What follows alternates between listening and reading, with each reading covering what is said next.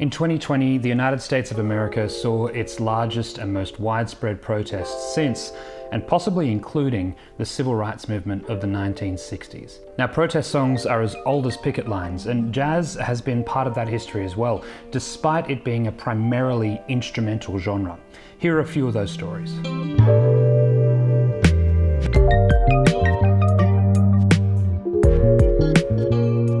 G'day, I'm Tim. I make videos about jazz history. Please subscribe if you're new.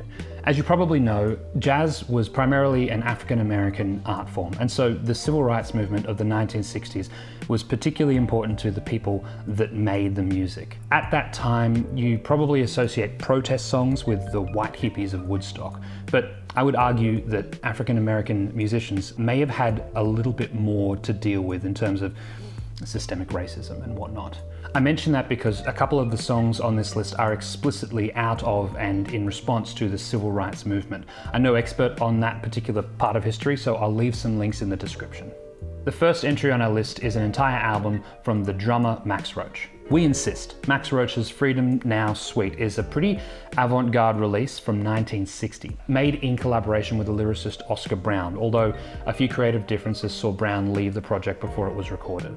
The album also heavily features Abbey Lincoln, a vocalist who herself was very much involved in the civil rights movement, and her performances are probably the, the most deeply impactful.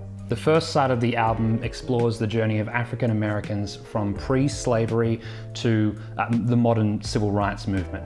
The other side of the album, side B, goes to Africa and explores civil rights movements there, especially around the 1960 Sharpeville massacre in South Africa. It's an extremely raw and emotional album and a tough listen, but it's a tough subject, so it's well worth your time.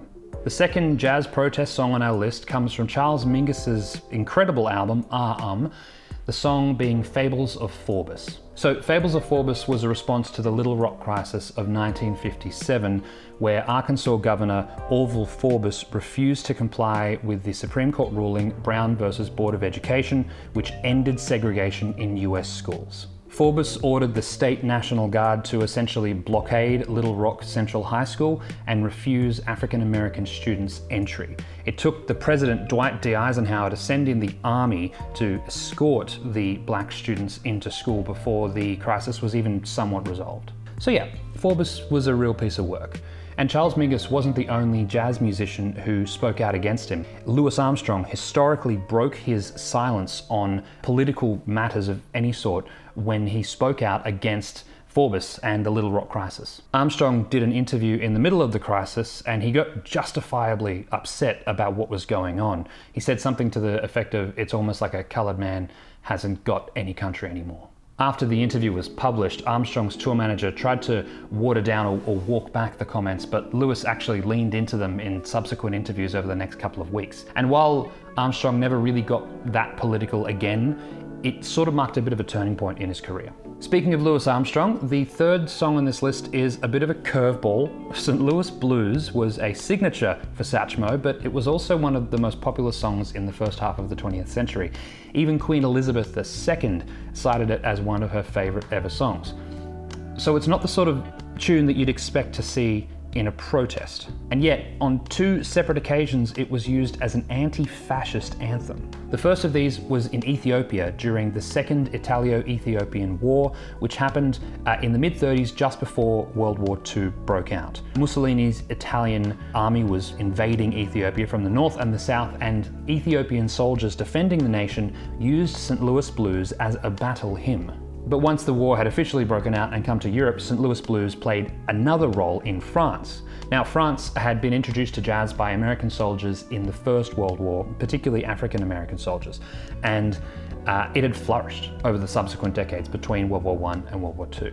One standout jazz musician was Django Reinhardt, the gypsy jazz guitarist, who in 1937 recorded his own version of St. Louis Blues. Unfortunately, with the entry of America into the war in 1941, the Germans who were occupying France at the time banned all American music, including jazz. However, in a very creative response, French musicians and historians started spinning this false narrative that jazz was actually from France, that it was a, a extension of Claude Debussy's work, and that it was actually very sympathetic to the Germans' Eurocentric uh, regime. To help continue this narrative, American jazz songs were given French names and their authors French monikers. Louis Armstrong's French name became Jean Sablon, and the song St. Louis Blues became known as Tristesse de Saint Louis. It's hard to know how effective this strategy specifically was, but jazz is still strong in Europe today, and this might be part of it. Now, there are many, many more songs that I could have included on this list, but it would have been a very long video. So here are a couple of high profile albums that have their roots in some sort of civil protest. The live albums from the Miles Davis Quintet, Four and More and My Funny Valentine were both recorded on the same night. And none of the songs on these albums are protest songs. In fact, they're just jazz standards. What made these albums special is that they were recorded at an event that was supporting black voter registration. Miles famously angered his entire band that night by just before going on stage telling them that they were going to do the show for free and so wouldn't be paid. Whether or not that anger contributed to it or not, it was an incredible performance. An honourable mention also goes to Pieces of a Man by Gil Scott Heron, and this is required listening for anyone who loves jazz or hip hop for that matter. Pieces of a Man was Gil Scott Heron's follow up to his first live album, Small Talk, at 125th and Lenox, and both albums featured his most famous track, the revolution will not be televised. The song's title was a popular slogan from the Black Power movement of the 1960s, and the lyrics speak to the ongoing struggle for black enfranchisement even after the civil rights movement ended. Now, I didn't include this album or track on the main list because it's borderline not jazz. However, it's probably my favorite album on this list. I'll leave links in the description to all of the songs that I've mentioned in this video. Please check them out. They are all worth listening to.